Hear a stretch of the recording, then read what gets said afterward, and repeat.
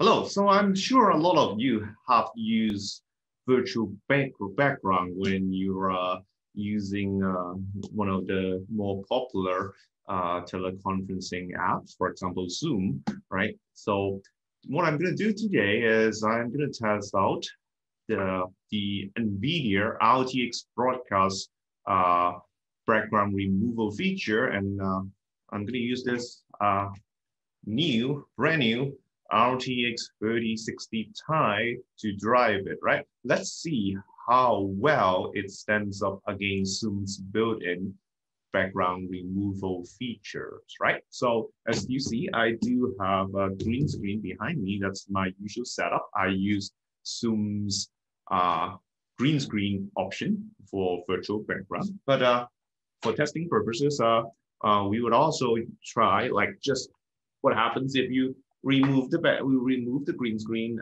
and have a usual background behind, right? Okay, so here we go. Let's see how it works. To, to placement feature, you need a compatible graphics card, which at this moment includes all RTX series cards, uh, cards starting from the RTX 2060. And then you need to download the NVIDIA Broadcast app, right? You need to download the NVIDIA Broadcast app. And then uh, you see in this app, you have the option of selecting camera and then effect, uh, background replacement, turn it on, select your desirable background video or image, and here you go, you see the effect.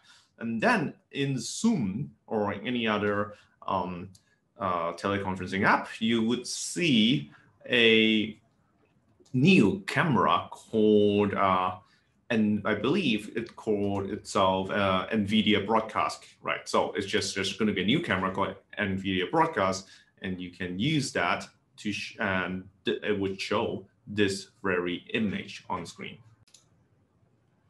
This is with Zoom's virtual background on a solid colored background, right? So you can see that if I move around, the my the rest of my chair is actually visible momentarily, right? And if you move your fingers, you can kind of see the big, the background. Like I have actually have a green screen behind me and you can see, right? It's kind of a mess.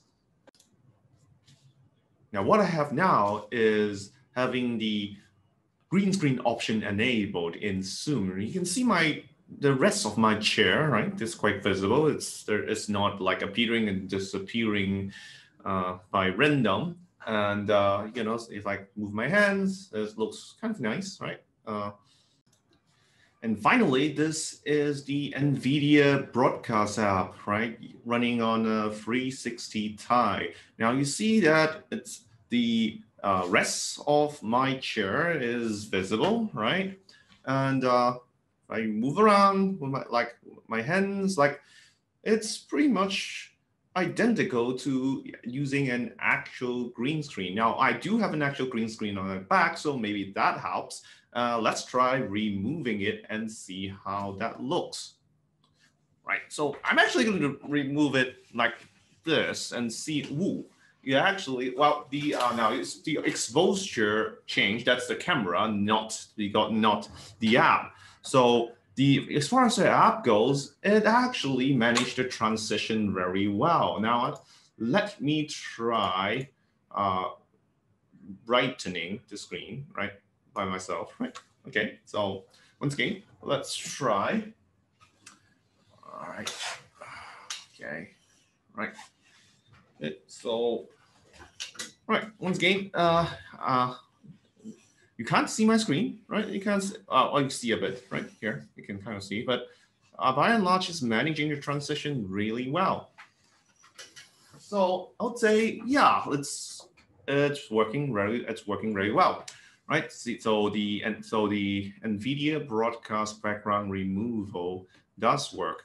Now, unfortunately, I, you do uh, the you do need an RTX graphics card for this to work, and the cheapest model you can find is probably a 260, uh, which I would say it's uh, it's probably not worth its price new, but it maybe you can if you can find it cheap online, secondhand, well, then maybe it will work for you. If you want to buy a new one, the 360 Ti is probably the model you want to go for right now until NVIDIA decides that they're going to release like a perhaps a, a 3050, right? Like because they didn't do so for the Turing cards, right? So there wasn't a 2050 at all. So the minimum model you have to go for is a 2060 for this to work right? But it does work if you have a compatible card.